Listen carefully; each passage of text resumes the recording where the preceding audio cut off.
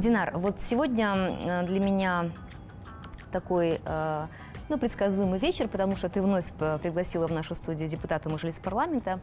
И когда ты приглашаешь депутатов в нашу студию, для меня всегда они какие-то предсказуемо положительные. Я не знаю, каков будет наш сегодняшний гость. Что ты скажешь об этом? Ну, я могу сказать тебе, что в 2011 году он был в списке самых влиятельных бизнесменов э, журнала Forbes. Я думаю, что это тебя хоть как-то, ну, наверное, заинтересует. Интересно. Добрый вечер, вы смотрите Sky Studio. С вами вновь Баян Исентаева, Динара Таджан и наш сегодняшний гость, депутат Мажилиса парламента Румин Мадинов.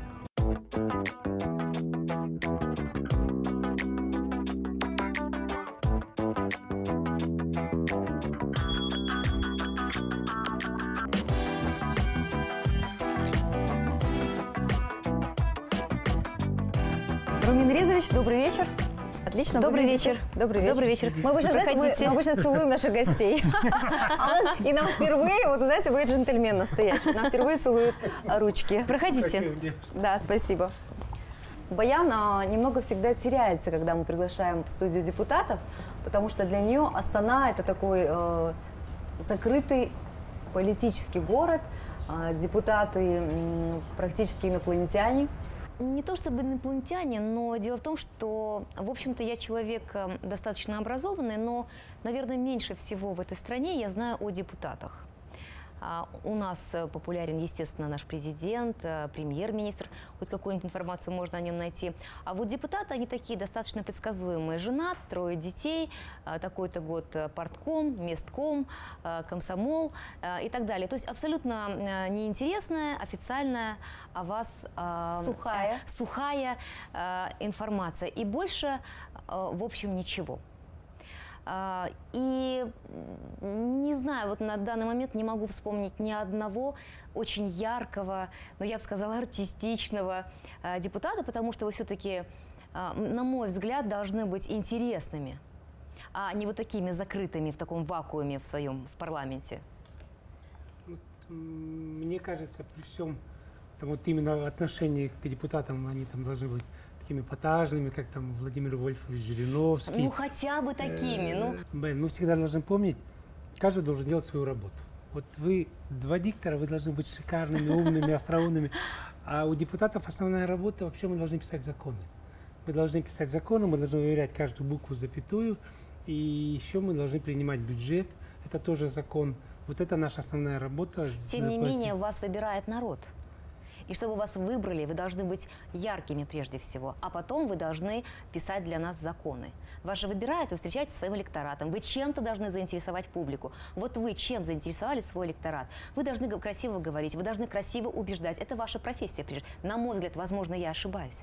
Среди депутатов очень много людей, которые и красиво говорят, и поют, и, и занимаются спортом. Все это есть, но все-таки основная наша задача, еще раз повторюсь, наверное, это может быть скучно, Баян, но писать законы, поправлять каждую букву, при, принимать все, участвовать во всех этих именно закон, законотворческих делах. Вот это, просто мы привыкли из тех 90-х годов, что депутат это должно быть что-то бурное, это митинги, это вот все остальное. Но на самом деле, повторюсь, задача депутатов писать. И мне кажется, вот сейчас как раз тот состав э, парламента, который в последнее время есть, может, почему и нет таких эпатажных личностей, потому что все как раз сосредоточились на своей профессиональной И тем не менее, говорю как глаз народа, хочется знать, кто для нас пишет закон, кто эти люди. Кроме того, что они в коричневых, серых, э, в черных пиджаках, а, кто-то выше, кто-то ниже, кто-то с животом, кто-то нет, а, кто-то спит, а кто-то активно поднимает руку.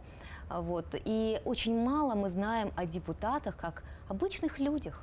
Которые... Ну, я думаю, что сегодня у нас будет возможность вот, мы, раскрыть. Э, мы вот сейчас раскрыть, этим мы да. занимаемся. Рамиль Резович, мы не случайно приглашаем в нашу студию депутатов, для того, чтобы, потому что у депутатов на самом деле в народе, к сожалению, не очень хороший имидж. Хотя, вот, допустим, вы же часто бываете в регионах, вот э, когда вы приезжаете в, регионах, в регионы, вас как встречают? Ну, в первую очередь от нас не столько, как мы выглядим, а как мы при этом себя ведем. Самое главное, чтобы мы, наша задача в регионах э, доносить правильно те законы, которые мы принимаем. Вот, Ну вот они по- вам верят, скажите, вот они вас ждут вашего приезда, или же Знаете, для них я- вот каждый ваш приезд вот немного в напряжение вводит? Я являюсь членом партии Нуратан, и нам, нуратановцам, очень легко в этом плане, потому что над нами, за нами э, стоит наш президент, лидер нашей партии, и понятно, что в первую очередь верят ему. А наша задача правильно донести те мысли, которые были высказаны главой государства, то, что мы приняли в законах. Наша задача быть правильным проводником. Может быть, поэтому я еще раз повторюсь, были 90-е годы, было очень все шумно, были митинги, сколько было ярких личностей. Но сейчас это время эпатажности прошло. Наша, еще раз, каждый должен делать свою работу. Дворник должен выходить каждое утро, убирать снег.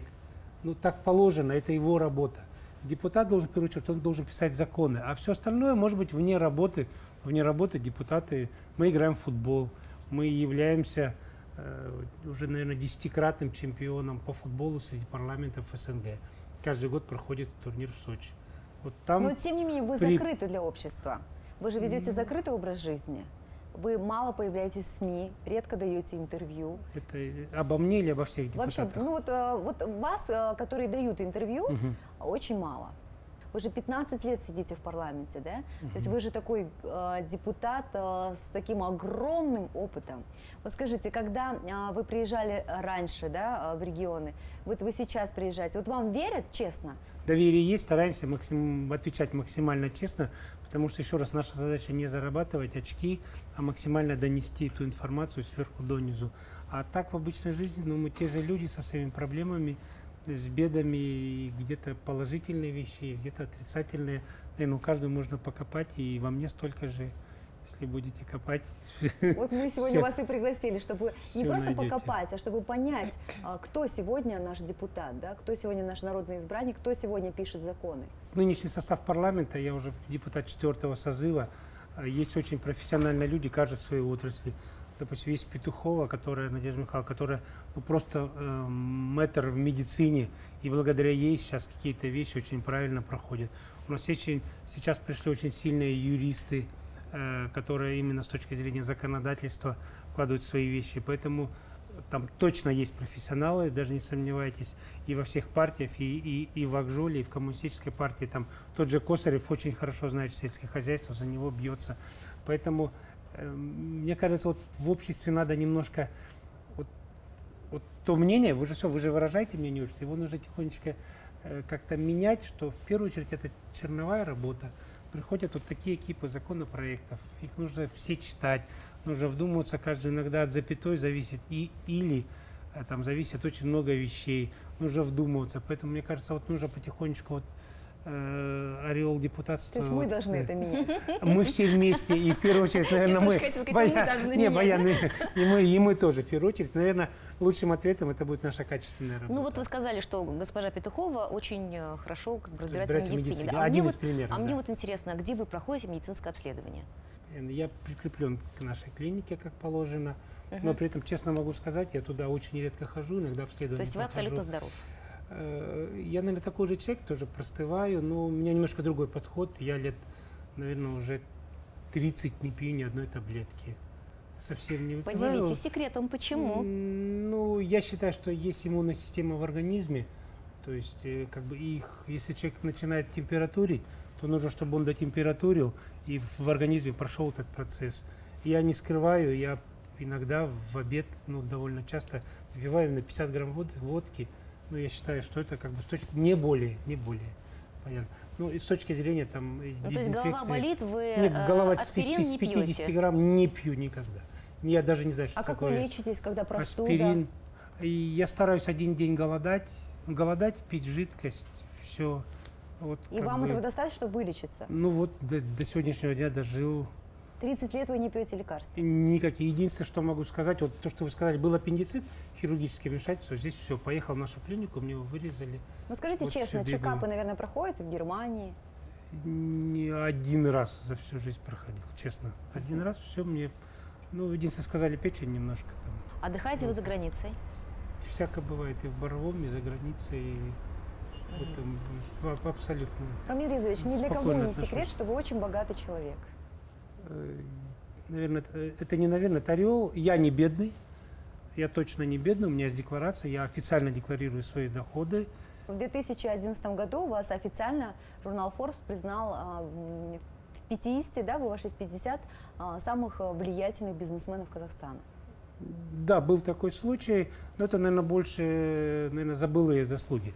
Потому что я начал заниматься бизнесом в 89 году, и я как бы уже, когда уже пришел в депутаты, я уже был состоявшимся человеком, у меня уже на тот момент были акции, и все оно было официально задекларировано.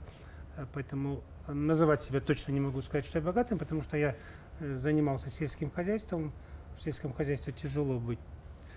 Есть казахская поговорка, голодным не будешь, но и богатым не будешь. Поэтому, ну, Ну, Поэтому мы готовясь я- к интервью сегодня читали с Баян, а, вот как раз нашли э, эту информацию про а, где вы входите в 50 самых влиятельных э, бизнесменов Казахстана, и там было, по-моему, где-то около 30 сельхозпредприятий. 27, если 27, память да? не А, изменяет. сельхозавиация, которыми вы руководите.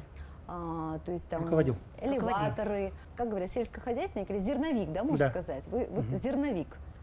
И причем такой богатый зерновик. Были или есть, или э, как? Вот где ваш, ваш бизнес сейчас, кто им управляет? все, я сейчас ушел из этого бизнеса. Раз. Продали? Э, Большую часть я продал, но продал для того, чтобы закрыть в первую очередь кредиты банкам. То есть в этом плане моя совесть чиста. Потому что на самом деле сельхозбизнес, он очень закредитованный. И в этом плане здесь сложно, реально говорю, сложно заработать большой капитал. То есть объемы могут быть большими, сколь угодно, но обязательства перед банками всегда чуть-чуть выше. А вы в депутаты Это- пошли, потому что у вас с бизнесом не получилось? Или Нет, наоборот, абсолютно чтобы было все нормально. укрепить? Партия была создана в 99 году, ее создавали именно э, крупные зерновые Ну, компании. про аграрную партию сейчас аграрную говорите, партию. Это, это был создавали. 99 год. Я был один из тех, кто создавал. И мы создавались, мы не скрываем, как лобби для продвижения Своих именно интересов, интересов да? сельского, экономических интересов сельского хозяйства, не политических. И, И я, вас затянуло. и я абсолютно убежден, что ту миссию мы выполнили, потому что были приняты э, очень хорошие законы. Был принят закон о зерне, аналогов до сих пор нет на всей территории постсоветского пространства, к нам приезжает за опытом. У нас принят закон о государственной поддержке агропромышленного комплекса, тоже то, чего не было. И до сих пор э, в некоторых странах мы официально ввели субсидии. Я считаю, то, для чего создавалась аграрная партия, мы свою миссию выполнили. Но вы не жалеете, что ушли из бизнеса? Потому что я так предполагаю, что если бы вы остались все-таки в своем бизнесе, то сейчас вы бы, наверное, вообще были бы в Форбсе номер один. Вопрос нет. Еще раз, сельскохозяйственный бизнес это не тот бизнес, на котором зарабатываются большие капиталы. Это раз. Второе, Ну, я то есть, если бы заработали большие капиталы, вы бы не пошли в политику. Вам недостаточно было того, чего вы зарабатываете, и поэтому вы а, увидели себя а, в политике. Нет, Бен, здесь, наверное, не так. Нет, ну а как, как, Был- как человек вообще переходит с одной стадии развития в другую? Я всегда занимался общественной работой, и у меня, честно скажу, это, ну, я считаю, что получается лучше. Вот Рамин этом ну вы уже случае. 15 лет э, в парламенте, да. значит, это, это говорит о том, что вам нравится быть депутатом Мажилиса. Здесь не то, что мне мне нравится, что работа, э, являясь депутатом, имею возможность влиять на э, законодательную составляющую. Есть какие-то возможности э, влиять и помогать, в первую очередь, не влиять, а помогать именно развитию сельского хозяйства. Мне вот это гораздо больше, потому что я абсолютно убежден в том, что Казахстан, в первую очередь, это аграрная страна. И те возможности, которые у нас заложены, это гораздо больше, чем при всем уважении к нефтянке, к металлургии. Я считаю, что здесь у Казахстана будущее. А чем вы гордитесь? скажите, комбайны у нас хорошие вообще? Они э, вот на каком уровне развития у нас? Тракторы, комбайны. Э, сейчас я, допустим, очень часто бываю в поселках, э, в аулах, э, потому что я там снимаю кино. Вот. И, честно сказать вам, состояние нашего трактора, мы не смогли найти для себя трактор э, современного, э, ну, как сказать, э, и, Современный трактор. со- современный трактор. Он 21 века. Баяна, 21 Баяна века, абсолютно да. права. У нас, к сожалению, нет своих комбайнов, но у нас есть супер хорошие с кондиционерами немецкие комбайны, у нас есть Они вот по полю американские. двигаются, Они работают. американские комбайны, которые Мгм. стоят и 200, и 300 тысяч долларов. В этом плане э, тут не важно же, какого э, цвета кошка, лишь бы она мышей ловила. Если это у нас хорошо убирает американский комбайн, пусть убирает он. Если немецкий Claas или John Deere, пусть убирает. Понятно, что я, если брать уже дальше, что плохо, что мы пока не производим комбайнов собственных. Вообще у нас этого нет. А у нас во всех а, Э, городах и весях, то есть а, в аулах и в сельской местности, а, американские а, нет, нет, комбайны? конечно нет. У нас еще Потому те- что в тех, которых я была под Алматой, М, я не видела таких Я комбайнов. бы с вами абсолютно согласен. А- а где такие есть, американские э, комбайны Есть также нет, Ну, где, где, в каком Давайте поселке? посмотрим, что нет. Я вас свожу, все покажу. И американские комбайны, и немецкие комбайны есть. Просто насыщенность очень маленькая. Здесь уже проблема другая. Э, Короткие деньги, дорогие деньги. э, Лизинг очень короткий, там у нас на 9 лет, а комбайн должен э, там минимум 15-20 лет, потому что он за меньшую не окупится. И мы потихонечку, потихонечку вот эту систему выстраиваем. И поверьте мне, в течение ближайших 10 лет произойдет модернизация, и большинство комбайнов, и не обязательно, чтобы они были. Я раз оговорился, что у нас нет своих комбайнов, мы делаем сборку э, российских комбайнов сегодня начали, я думаю, в ближайшее время начнем и немецкие аналоги собирать. Мы сделаем модернизацию, жизнь заставит. Рамиль Ризович, вы же помогаете сельским предпринимателям, да? То есть вы же продвигаете их интересы, да, фермеров, Конечно. а, сельскохозяйственников. Вот скажите, чем лично вы помогли им?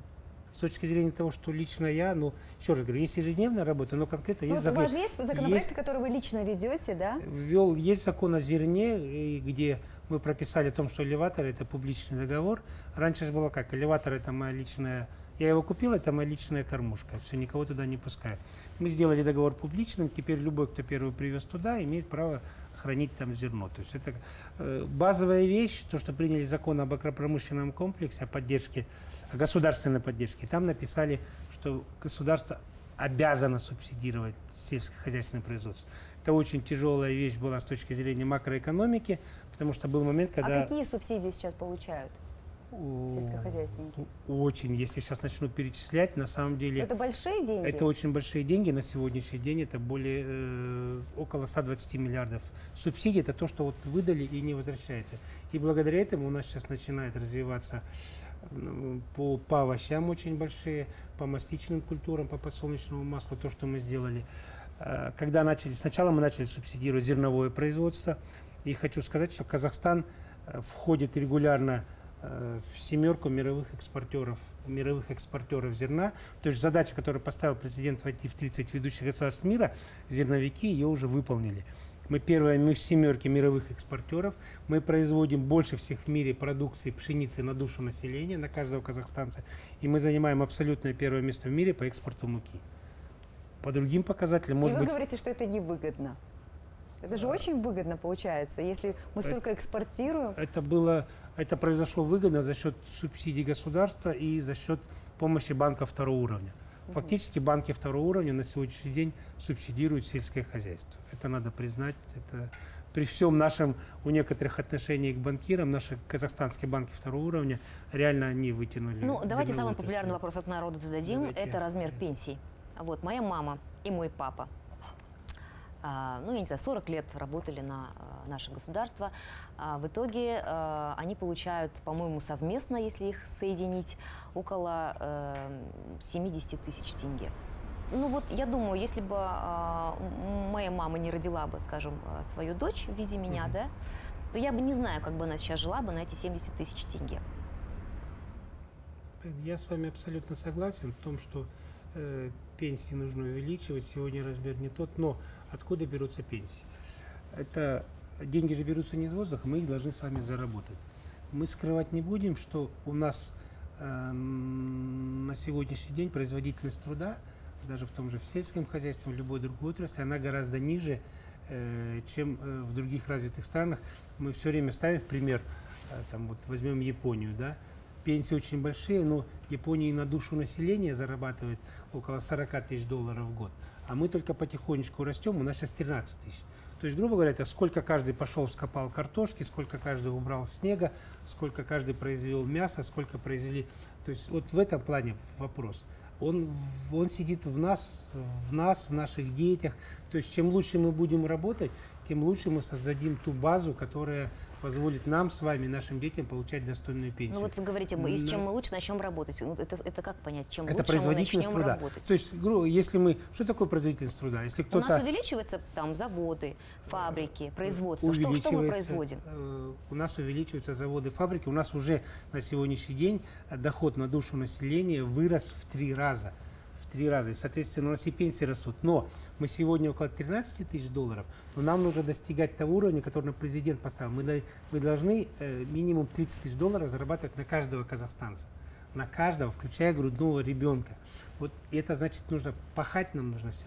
Давайте будем откровенны, с точки зрения производителя, у нас больше там, э, там очень много неработающих, у нас очень много людей, которые там э, занимаются непроизводительным трудом. Вот это, вот это нам нужно убирать. Кто должен стимулировать? У нас же нет такой мечты. Вот, вот у американцев есть американская мечта.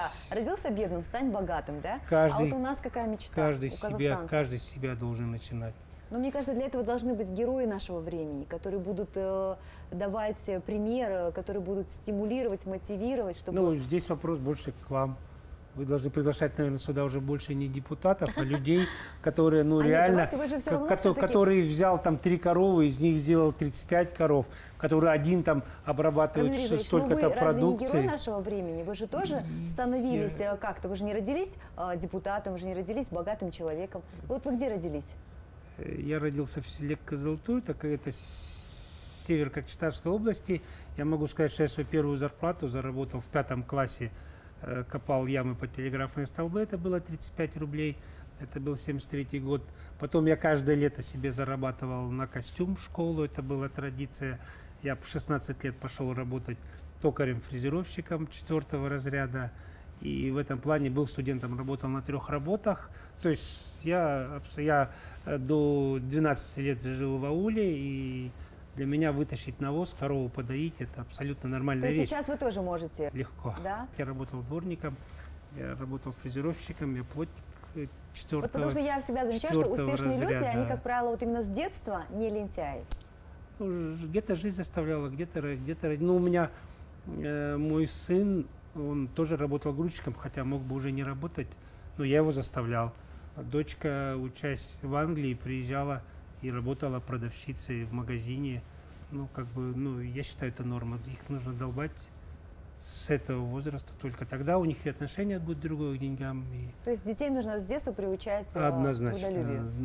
Либо это должен быть спорт, чтобы они пахали и там, не знаю, А там... вот сейчас вы живете в Астане в, э, в частном доме, Нет, на квартире шестой этаж. в депутатском доме? Меньше, э, меньше 200 квадратных метров. Почему так скромно, с вашими возможностями? Вы знаете, устраивает. Есть Устраивает, да? устраивает абсолютно А полный. почему все полный- казахские мужчины, как правило, ну все казахские семьи, я бы сказала, мечтают жить э, в частном доме?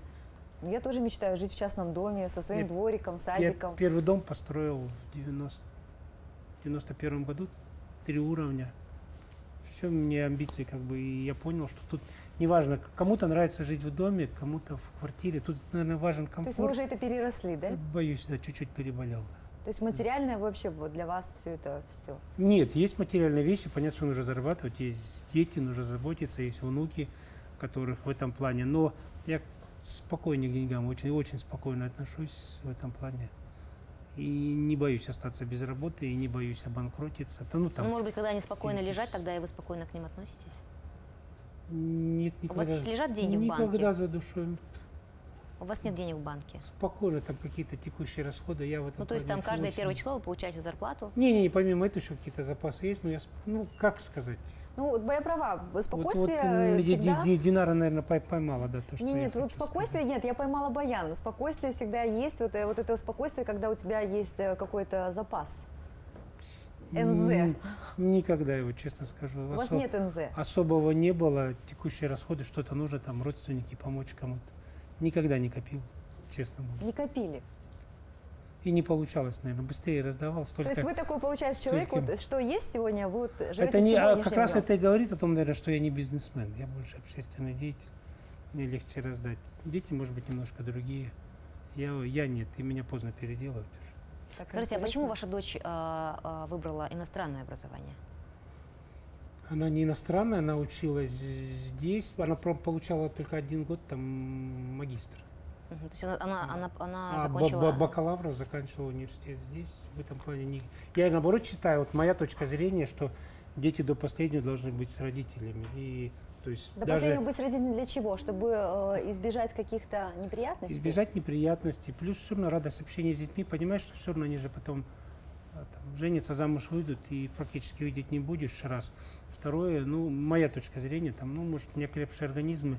Я все-таки считаю, базовое образование лучше у нас получать. А там уже потом закрепить язык, получить э, магистра и вернуться Ваши сюда. дети сейчас живут э, все вот здесь, в Астане, Здесь, работают да, в нацкомпаниях, э, в частном секторе, Нет. в частном бизнесе. в частном бизнесе. В частном Никто у нас в бизнесе. компаниях не работает. Может быть, э, продолжают ваше дело, тоже в сельском хозяйстве, нет? И, к сожалению, да. Сожалению. Ага, да. Почему? Ну, я Мне шучу, кажется, наверное. вы лукавите. Что значит к сожалению? Нет, э, чтобы было понятно, я не к тому, что, к сожалению, сельским хозяйством нужно заниматься, у меня присказка такая. Поэтому абсолютно нормально занимаются Сельским бизнесом. сельским хозяйством. У меня живут родственники э, в ауле, да, и вот вы знаете, жнаркинский кумыс очень вкусный. И я всегда прошу, чтобы мне передали. Я говорю, почему вот вы, а, вот сколько в день вы собираете? Мне говорят, ой, мы можем этих баклажек там по 10 штук каждый день надоить, и вот у нас кумыза очень много, мы консервируем, да, и в подвале храним. Я говорю, ну, этот кумыс очень а, ценный в Астане, да, его будут разбирать. Почему вам, ну, как-то вот не привозить его здесь и не продавать? А мне говорят, ну, потому что мы не можем, у нас вот доставка. То есть неужели действительно сегодня вот э, у людей есть сырье, да, есть что продавать, тот же, то же самое мясо очень вкусное, да, кумыс, сметана, молоко, но у людей э, они не знают, как это вообще делать, вот кто их э, обучает, образовывает. То есть на самом деле, когда ты живешь в ауле весь, ну, как бы всю свою Эльдар жизнь, абсолютно правы, мы немножко увлеклись как раз большими проектами, а как раз сельхозкооперация. Запад же живет за счет сельхозкооперации, у них нет больших компаний, у них как раз мелкие фермеры, которые потом объединяются в общественные объединения, которые являются с бытовыми организациями. Мы этот момент чуть-чуть упустили, президент нам четко на это указал, в этом году он нам сказал быстро разработать закон по сельхозкооперации. Я думаю, то, что вы говорите, я думаю, убежден, 2-3 года мы эту ситуацию изменим. Как раз, то есть чтобы людям те- будет куда отдавать а, да, да, всё. а но будет как? Люди должны, мы людям дадим условия, чтобы они сами создавали вот эти сбытовые организации, которые занимались, собирали бы частников и занимались сбытом этого продукта. А в системе Проблемы образования этот человек на кого должен учиться, чтобы потом а, грамотно продавать свою сметану? Это же обычный человек, который доит свою корову. А, Ему самому в у нас вообще культивируется Да. такое образование. У нас культивируется там а, юриспруденция, а что там еще? Экономическое, Экономическое, да. Для того, чтобы вот вс- всем этим заниматься, когда наша молодежь пойдет учиться на фермеров, если для этого нужно высшее Будет- образование, не знаю. Будет потребность, пойдут, и люди появятся, все будет. Но они же не Э, могут из воздуха появиться. Э, Это, это же надо уметь.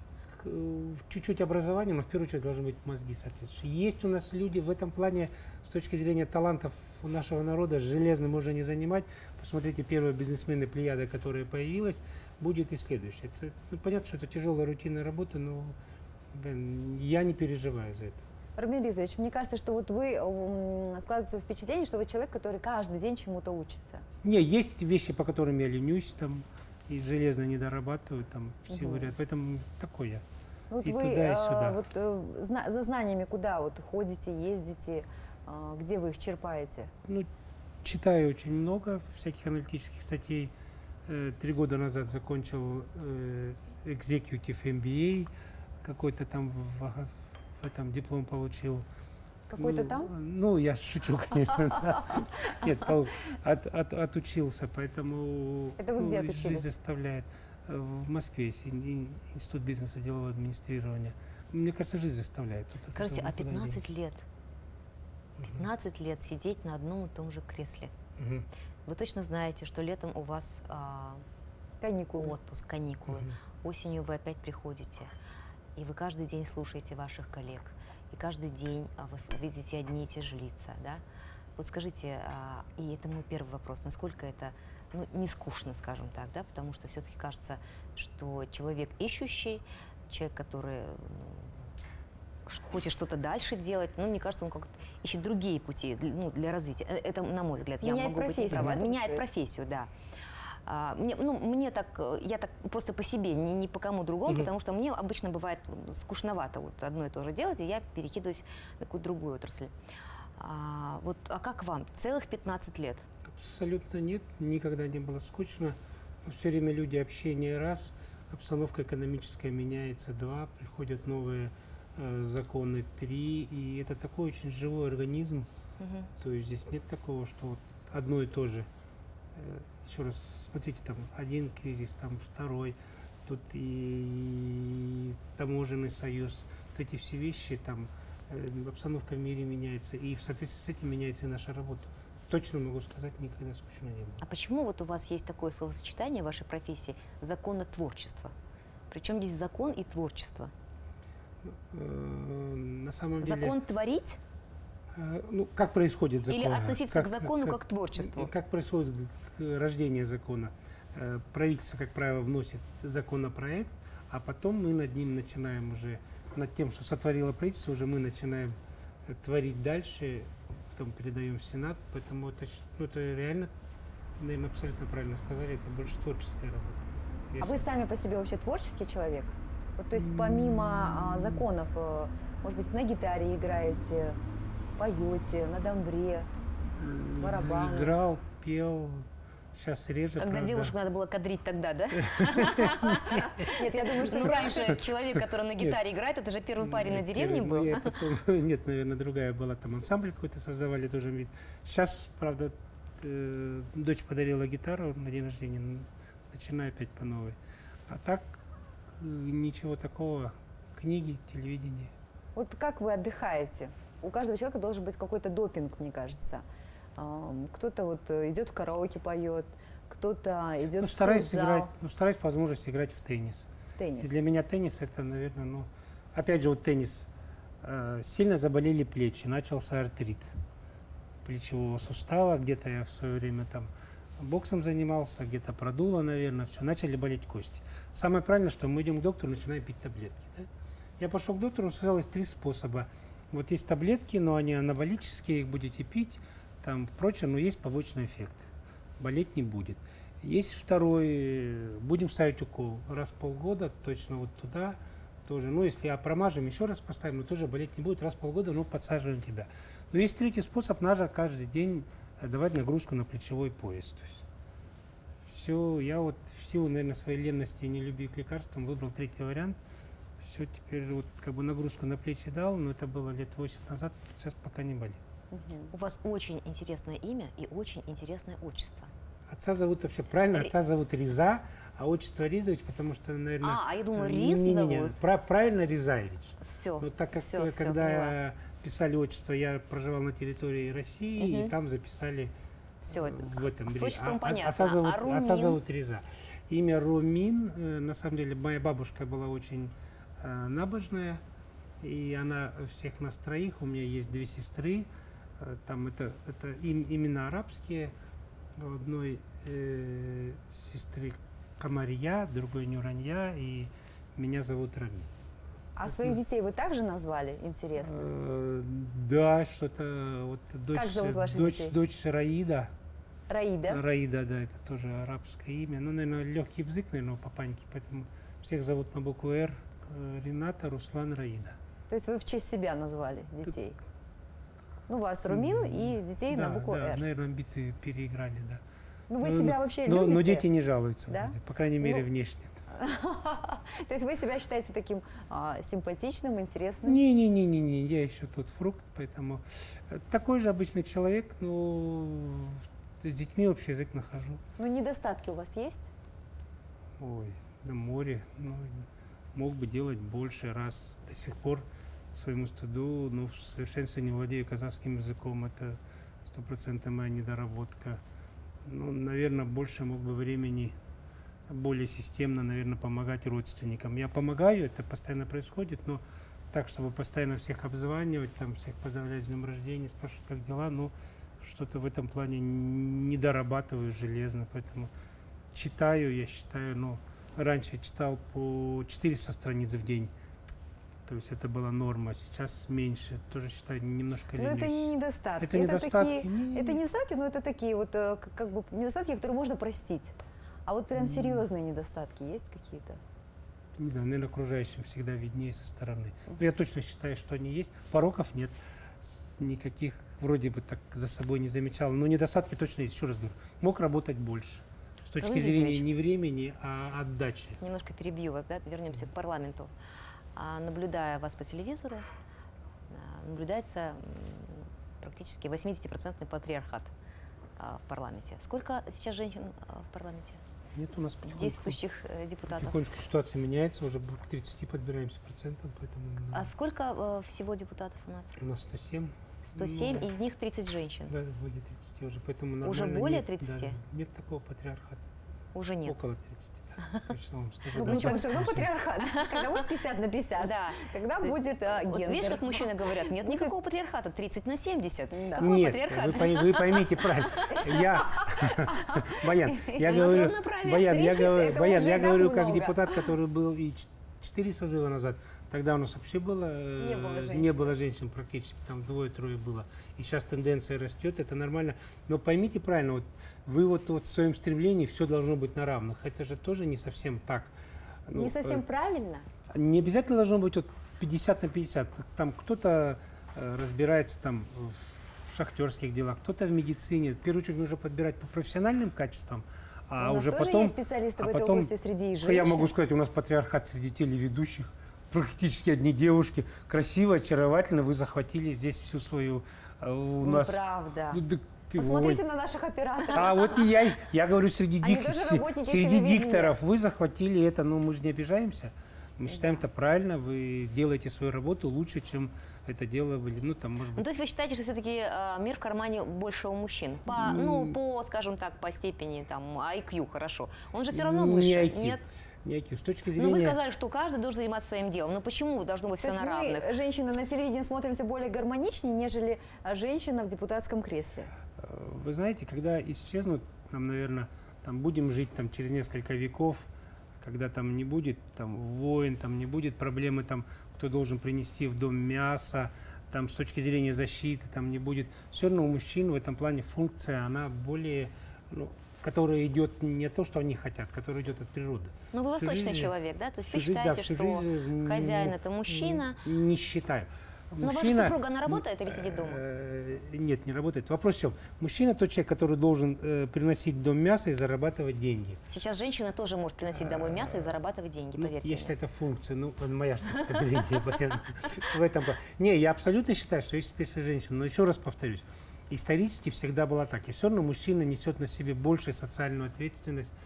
С точки зрения воспитания детей, железно, я перед женщинами преклоняюсь, у них то, что вот все материнство сидит, понятно, если нам, мужикам, ну вы, доверить, вы испортим мужчина, и всё. вы мужчина а, правильного воспитания вот из тех времен, да, то есть когда действительно все мужчины так думали. Вот, к сожалению, нынешнее поколение молодых мужчин, и Баян правильно говорит, что сейчас молодые девушки могут и принести и мясо, и обеспечить и мужа, и многие молодые мужчины как бы не секрет, что и если раньше девушки искали себе богатого жениха, а сейчас молодые парни ищут себе Бывает. богатую невесту, это же правда? Бывает. Я думаю, это издержки производства. Все равно Казахстан, все равно Казахстан, он больше тяготеет именно вот э, не, не, не к Европе, а к тем традиционным ценностям, которые есть. И я очень надеюсь, у нас э, вот это напасть, но отдельные моменты есть, Баян, но я думаю, проскочим. Но тем не менее, ваша дочь э, м, повысила свое образование в Англии, а там с этим делом вообще вопросов нет. Платит девушка сама э, за свой ужин, обед. И там это нормально абсолютно. Ну, на ней это не сказалось. Ну, посмотрела, получила диплом, вернулась, все равно она считает, что у нее какая была ни была, но она слушает мужа. То есть по каким-то вещам последнее слово. Но они договариваются хорошо.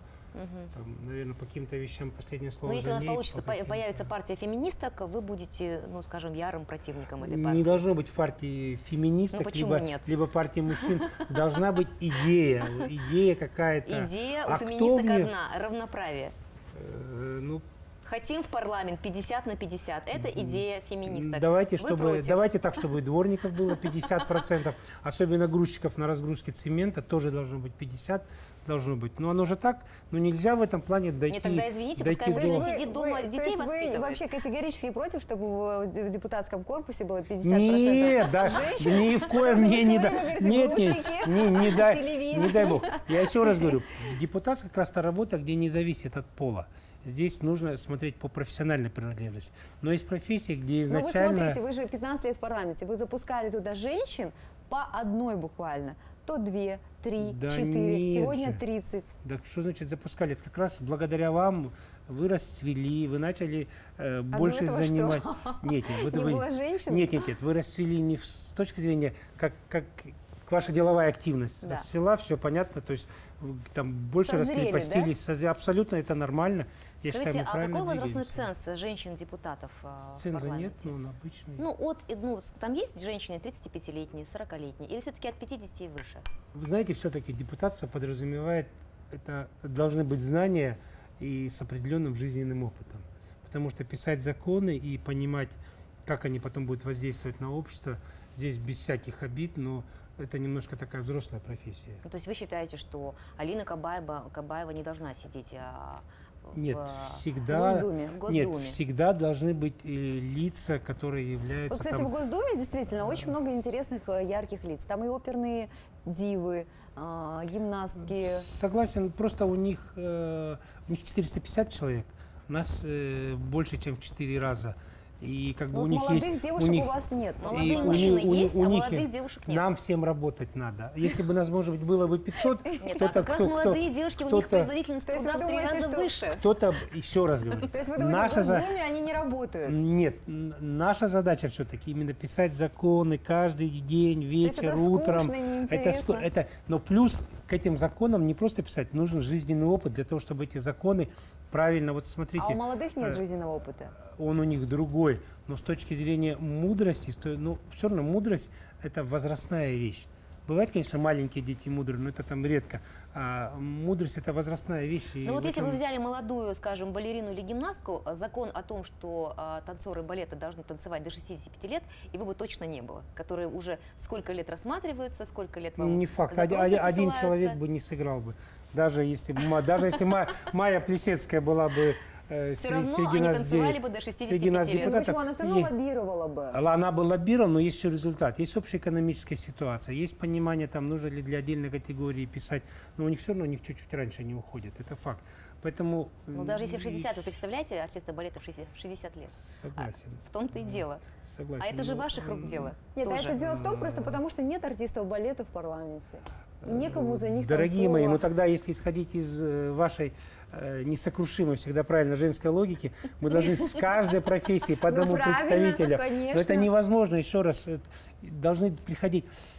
Должны Депута- депутаты, депутаты – это профессиональная работа по написанию законов. Поймите правильно. Ну, законы Завтра супер хорошего э, кого-то спортсмена возьмите и прочее, и посадить его писать трудовой кодекс, ну представляете, что получится? А у нас были он будет за спортсмены за Они спор- за есть, и они должны быть как олицетворены, но они не должны составлять, э, как бы, они тоже включаются в работу, но им гораздо легче включаться в работу, рядом сидя рядом с нами. Когда с все теми профессионалы. А представьте себе, все 100 человек будут Ну, вот, спортсмены, балерины артисты. тоже будут рядом с вами, Если все 100 вместе человек будут, нас будут мало, писать. нас мало, нас всего 100 человек. Профессионалов мало. Если увеличится количество, будет место Непрофессионалов и туда не пускают. Не профессионалов. Не профессионалов не пускают. Но не профессионалы могут работать рядом с Динара, ты не мечтай хорошо попасть в Да я вообще даже не мечтаю. Я до 40 Нет. лет решила работать на телевидении, поэтому у меня впереди Ничего страшного, я думаю. Динара бы нисколько не испортила, и Баян бы тоже бы. Но все Ну зависит вы нас не от все зависит от соотношения, еще раз повторюсь.